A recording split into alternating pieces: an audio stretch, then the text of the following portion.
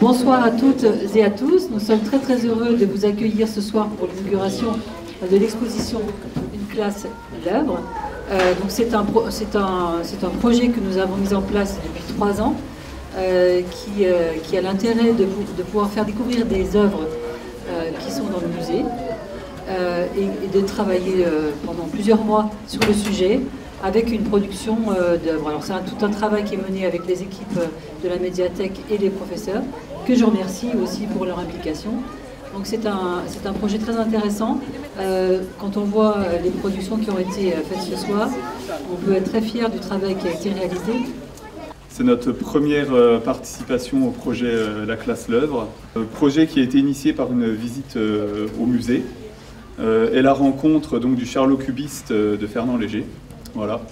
Et donc nous, ça a fait écho avec notre programmation en histoire des arts, parce que cette année, justement, on travaillait sur Charlie Chaplin et sur Pablo Picasso. Donc voilà, une belle, une belle opportunité qu'on a su saisir.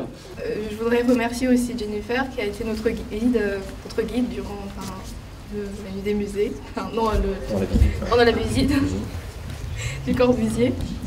Euh, alors, euh, du coup, notre projet euh, à notre école, c'était de créer une maquette du futur. Enfin, c'est une projection vers les années 3000 de Saint-Dié qui a dû subir enfin, des événements catastrophiques, etc. Donc, on a dû la reconstruire et on a pris exemple sur le Corbusier. Donc, voilà. Il fallait que ça soit écologique et que ça soit une ville verte avec un petit peu des moyens bah. Et en fait, le musée abrite une collection magnifique de dessins et lithographies de Fernand Léger.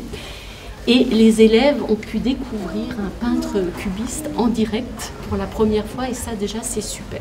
Suite à ça, Jennifer et Dominique, donc les médiatrices du musée, sont venues plusieurs fois nous voir et nous ramener en fait des oiseaux de la, collection ornithologique car les élèves avaient décidé de travailler sur l'oiseau magique de Fernand Léger.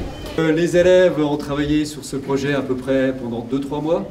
Ils ont commencé à venir visiter le, euh, musée pardon, pour euh, choisir une œuvre qui leur parlait, qui leur plaisait. Ensuite, ils ont fait deux, trois recherches sur cette œuvre. Et le but, c'est de vous présenter les œuvres ce soir. Alors, perfectionnons les élèves, parce qu'ils ont une petite pancarte, les médiateurs éclairs. Et Valentine a également réalisé des portraits du couple en 1952 et 1961, après la mort d'Ivan qui l'a très fortement marqué. Nous vous invitons également à aller visiter la salle à côté de la nôtre, puisqu'il y a un, le portrait de Claire Goll, peint par Valentine Hugo. Ici est un portrait de Claire Goll, une, une, femme de lettres allemande qui est mariée à Ivan Goll. Donc euh, c'est un animal qui vit en, dans, dans, les prairies et dans les, et dans les steppes.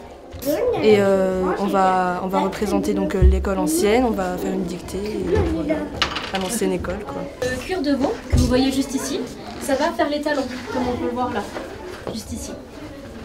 Il y a également de la croûte de cuir, donc c'est ce qu'il y a juste là.